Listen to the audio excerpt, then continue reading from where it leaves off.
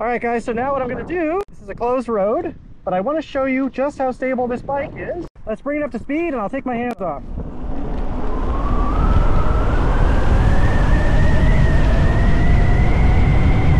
right, 70. Seven.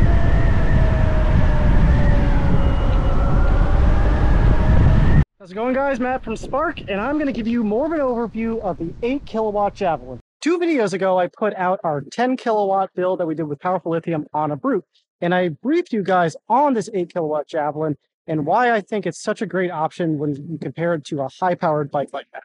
Today I'm going to kind of overview on why Spark is focusing on building higher powered Javelins versus the Brute. So I've brought out three recent builds. The one in the middle is the one that we showed off initially, kind of in its prototype stage. Um, it's a raw frame and it looks pretty gnarly. We raced this bike recently. And then the two on the side are kind of some finished products. Um, those are actually 4K Javelins, but I thought you would like to see what a finished bike looks like versus a prototype. So first off, let's take a closer look over here. This one is pretty beautiful. This is in peacock green and the customer had a brown seat made for it. Has a mono headlight, little cafe fairing on there. Um, you know, brushed metal side panels, and it's got that 4,000 watt motor in the back that peaks up to about 8,000 watt. This one on the side over here is a totally different feel. So it's the same exact bike, but this customer has put a little rear fender on it, which looks pretty cool. These bullet turn signals, all blacked out side panels, and you can't really see it right now because it's so bright out, but there's actually a whole underglow system on this guy. Pretty cool. It can do any color you want. Okay, the next thing I want to do is talk about the difference between the Brute and the Javelin and why we focused on the Javelin for high speed. So the Brute gets its name for good reason. This thing is an absolute monster. It's one of the most durable e-bikes ever produced. It uses these crazy thick one inch dropouts, heavy duty aluminum frames, motorcycle brakes, motorcycle tires, blah, blah, blah. But there's a few things. It has a short wheelbase, right? And most importantly, it has a very steep front fork. And those two things combined make it very good for city riding and commuting and very nimble kind of stuff, but they don't make it great for high top speed. And that's where the Javelin comes into play. Javelin uses a much longer wheelbase. It uses larger, narrower tires and a much more slack front fork. That front fork angle is the most critical thing.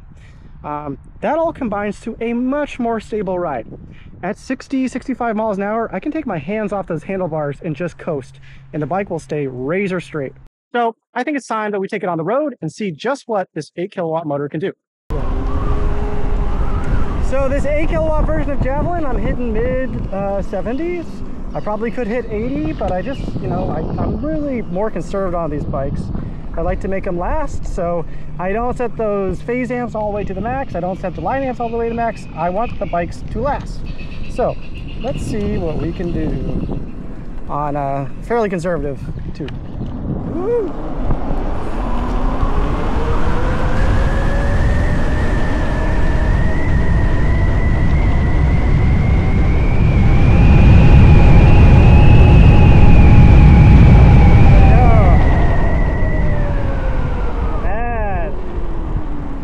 do another round. That was about 76. Yep.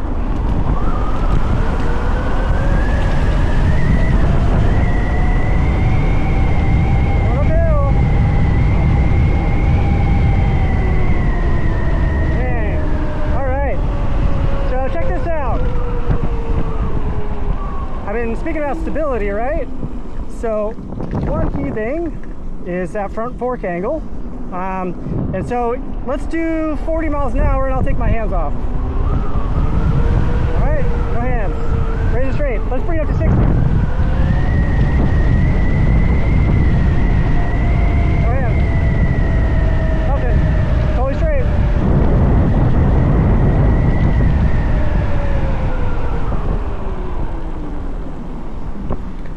All right guys, so now what I'm gonna do, this is a closed road, but I want to show you just how stable this bike is how I don't have any speed wobble. Huge thing. Let's bring it up to speed and I'll take my hands off.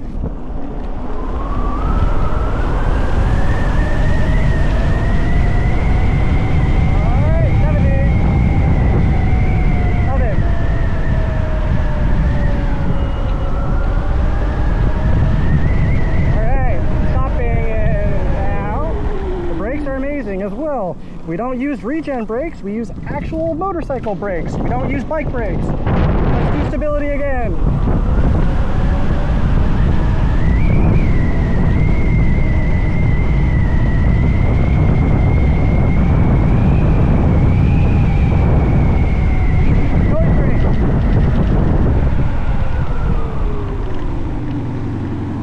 So this is what I'm talking about, guys. The wheelbase, the fork angle, it all comes together in a super stable ride. But let's take out a four kilowatt Javelin and compare it.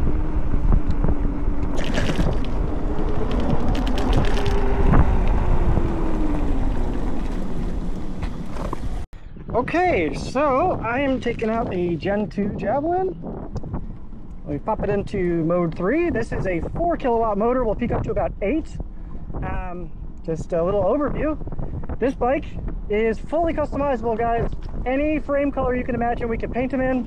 We have headlight options. Um, bike around $4,600, yeah, $4,600, $4,700. We offer freight shipping as well as local pickup.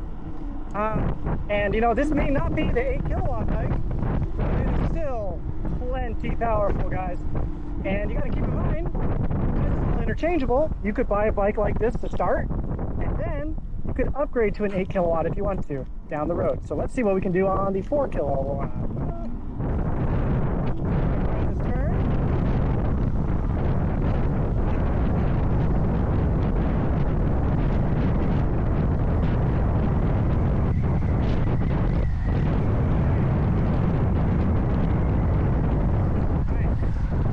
So I'm uh, about 140 pound rider. I'm a small guy. Um, so I can get this bike up middle 60s, but I would say conservatively, you know, you look at 60 miles an hour across the board.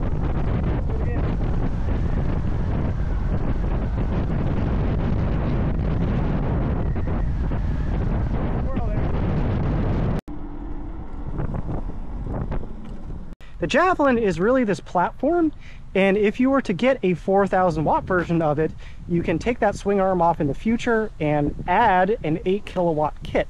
So let's talk about that kit. So the 8 kilowatt kit is an extended swing arm. So this is about 4 inches longer. It is also quite a bit thicker this direction, right? There's a lot more force going on and it needs that extra, extra thickness on there.